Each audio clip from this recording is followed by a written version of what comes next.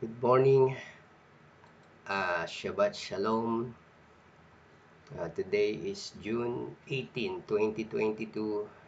Uh, it's a Saturday. Welcome to our morning devotions. Uh, we continue on on chapter 3 of the book of the Gospel of Matthew.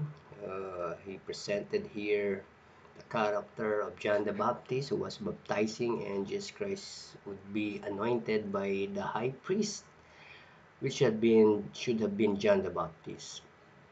And then another character, the Pharisees and the Sadducees, those are just some of the sect that sprung up after the Babylonian captivity.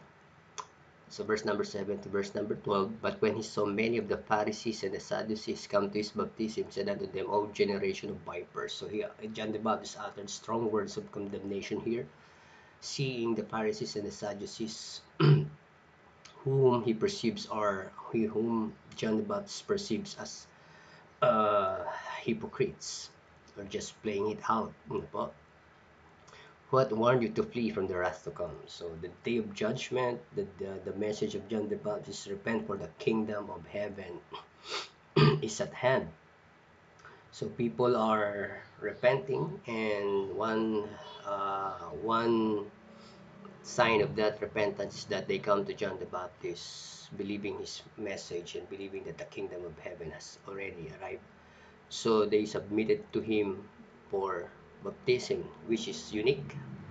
Uh, it was trailblazed by John the Baptist. Uh, uh, another person baptizing another person is something new because they just immerse themselves in the water by themselves, but this time someone is baptizing them.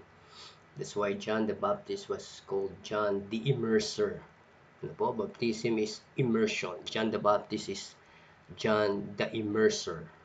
Po, he was immersing people into the water as a sign of their repentance and accepting the message of John the Baptist.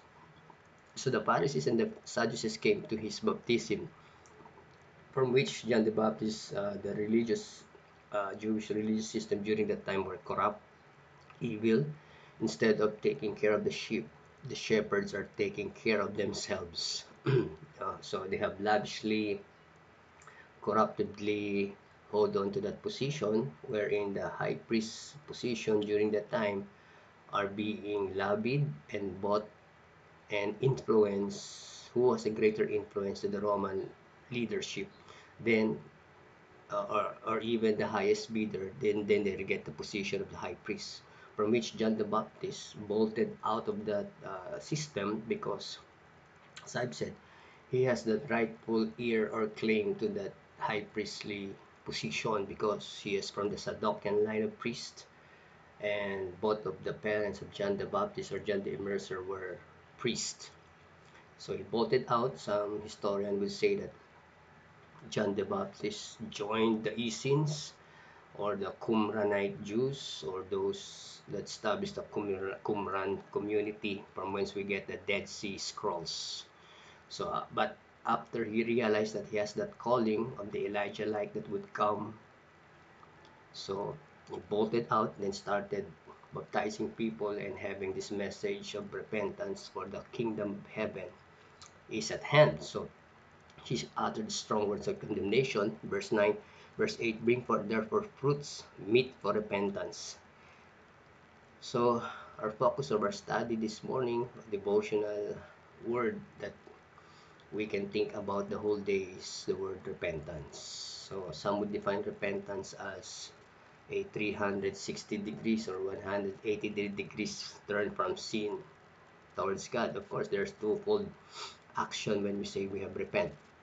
We repent from, uh, from something, then we turn towards into something.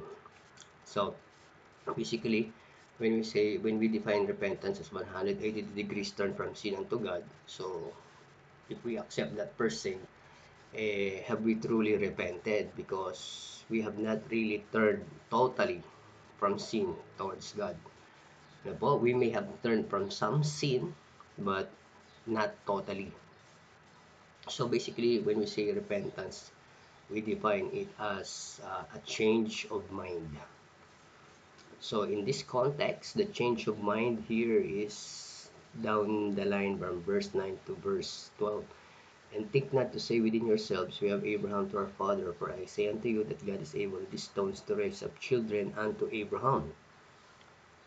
Uh, verse 10 And also the, the axe is laid unto the roots of the trees. So we all know that the trees symbolizing Israel is the fig tree as a nation, uh, the vine tree, their uh, religious privileges, and the olive tree, their spiritual privileges. So these three trees mentioned in the New Testament and even in the Old Testament are representative of the nation of Israel. So because of the evil system, the shepherds uh, taking care of themselves instead of the people. So John the Baptist brings this message to the Jewish religious evil system during the time that they should change their ways, they should have changed their minds about the things that they're doing because the true king, the true kingdom is coming and the judgment is coming. I indeed baptize you with water unto repentance, but he that cometh after me, speaking of the Lord Jesus Christ, is mightier than I, whose shoes I am not worthy to, be, to bear. So those are words of uh, total humility of John the Immerser to that coming.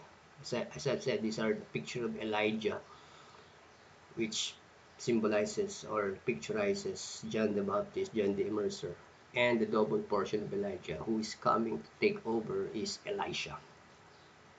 I just baptize you with water, but he that cometh unto me is mightier than I, whose shoes I am not worthy to bear. He shall baptize you with the Holy Ghost and with fire. So baptism not by the Holy Ghost. The baptizer is the Lord Jesus Christ, and we are baptized with the Holy Spirit and with fire. Whose fan is in his hand, and he will thoroughly purge his floor and gather his wheat into the garner, but he will burn up the chaff with unquenchable fire.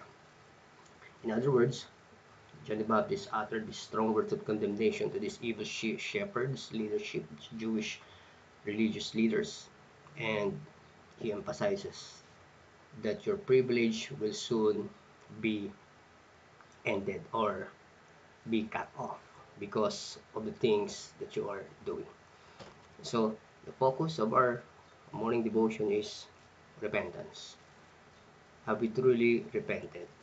Or what should we be repenting of? In this context, we should, the, the, the, the John the Baptist is condemning these religious leaders because they thought, number one, they thought that because of their uh, spiritual privileges that they will earn their way into the kingdom of God.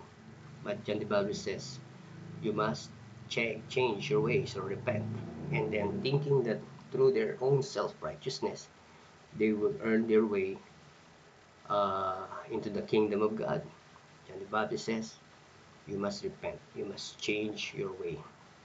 Another thing is that because they thought that they are from the line of Abraham.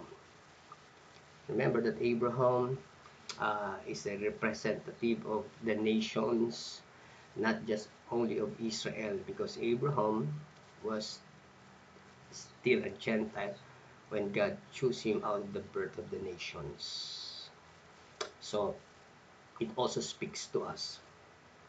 Uh, by faith, just like the, the Abrahamic kind of faith, then we can earn our way towards the kingdom of God. So there are three things that we need to, to consider when we talk about have we truly repented or have we truly changed our minds. Number one, do we think that our own self-righteousness will earn us that kingdom, a place of the kingdom of God? Number two, do you think that your lineage or genealogy uh, you think that it will earn you your place in the kingdom of God the only thing that John the Baptist John the Immerser is asking these Pharisees and Sadducees bring forth therefore fruits meet for repentance your religious spiritual national privileges will not earn you a spot or a place in the kingdom of God. So, arbitrarily uh, have a change of mind. Magandang umaga, pagpalain tayo sa buong kapon. Shabbat Shalom.